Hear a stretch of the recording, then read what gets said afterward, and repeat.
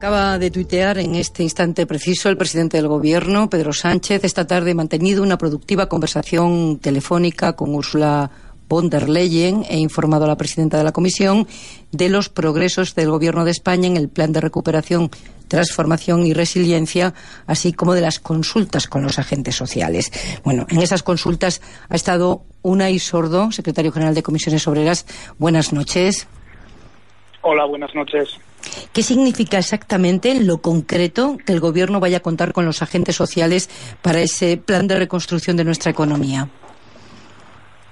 Bueno, lo que nosotros le hemos trasladado al presidente y a una buena parte del, Consejo de Ministros es la necesidad de tener un espacio de diálogo social permanente en el que los distintos planes de reconstrucción que se van a plantear en los sectores, en las empresas, pues cuenten con las aportaciones y cuenten con un nivel también de, debate con los agentes sociales que creo que hemos dado en esta crisis muestras de, corresponsabilidad para poder colaborar en lo que tiene que ser el desarrollo de políticas estratégicas muy importantes para España en los próximos años, ¿no? Y en principio la receptividad del gobierno ha sido buena y hemos puesto en marcha pues una serie de mesas donde iremos viendo los distintos planes que se vayan formulando.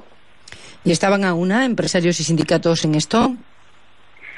Sí, yo creo que era una cuestión compartida que viene de la declaración que firmamos a primeros de julio en la Moncloa, antes de resolver el tema de los fondos europeos, donde nos emplazábamos a una serie de negociaciones, las que ya estaban en mesas de diálogo social, como los ERTE, como el trabajo a distancia y algunas cosas más, han prosperado, yo creo que en acuerdos muy eficaces para nuestro país y otra serie de medidas pues que tenían más que ver con las políticas de transición ecológica, con la digitalización, con la canalización de los recursos europeos también para reforzar nuestros sistemas sanitarios, pues son mesas que no se habían echado a andar y de alguna manera pues hoy damos el banderín de o vamos, damos la señal de salida a mesas de diálogo social que yo creo que tienen que jugar un papel muy importante en los próximos años.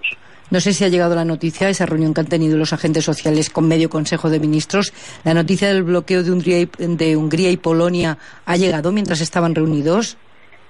No, la única noticia que hemos comentado ha sido la de la, la vacuna, la vacuna esta americana que parece que tiene un alto nivel de fiabilidad y no, pero bueno, esta era una variable que se podía plantear. Yo creo que tanto Hungría como Polonia están planteando una posición de fuerza. Eh, la posibilidad de veto en el Consejo Europeo es algo realmente reprobable, es un problema muy gordo que Europa se tenga que conducir en temas tan importantes como esto por la vía de la unanimidad pero yo creo que es una posición de fuerza. Hungría y sobre todo Polonia se juegan mucho en ese fondo de reconstrucción europeo y creo que no es presentable que en el siglo XXI, en el 2020, dos países llevados por populistas de derecha como Hungría y Polonia puedan poner en solfa un fondo de reconstrucción simplemente porque se les exija cumplir con los preceptos mínimos del Estado de Derecho. Es una auténtica vergüenza y espero que la Unión Europea no ceda a este tipo de chantajes porque creo que Polonia y Hungría no se pueden permitir que estos fondos no salgan adelante.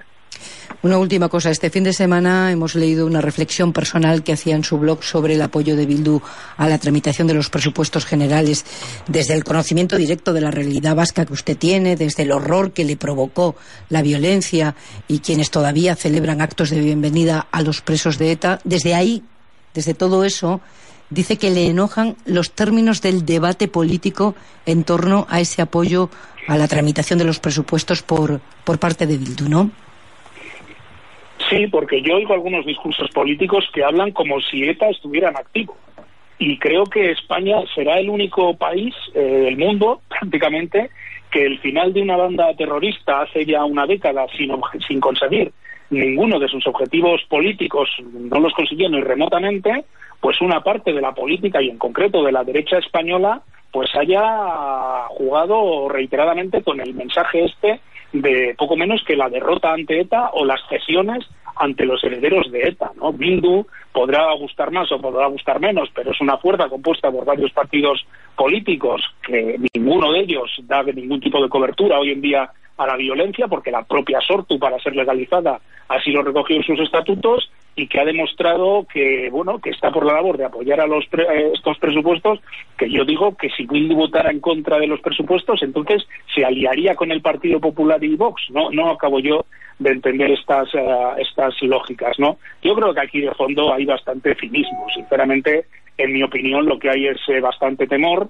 a que una aprobación de los presupuestos generales del Estado más un desarrollo de una vacuna que permita recuperar en el primer semestre del año que viene una cierta normalidad pueda repuntar en serio la economía española en el 2021 y yo creo que hay quien ve ese escenario con, con pavor y entonces, pues bueno, se mezclan debates mm, que creo que no proceden y que, como bien planteas, Pepa, en la pregunta, pues a mí como persona que ha vivido toda la vida en Euskadi, que soy vasco, pues me reconcome un poco porque creo que el terrorismo fue un tema muy duro para mucha gente del Partido Popular y del Partido Socialista de forma especial, como para seguir manoseándolo diez años después con este nivel de frivolidad. ¿no? Bueno, y sordo, gracias, buenas noches. Vale, gracias a vosotros. Hasta luego.